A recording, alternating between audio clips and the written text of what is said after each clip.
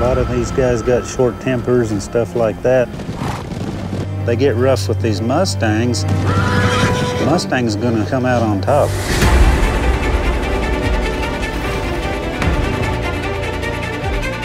I've worked him a couple of times in the round pen.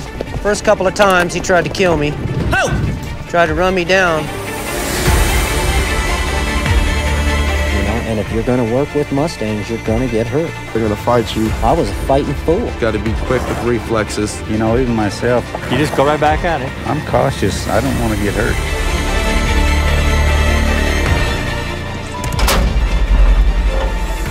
Not bad for the first time.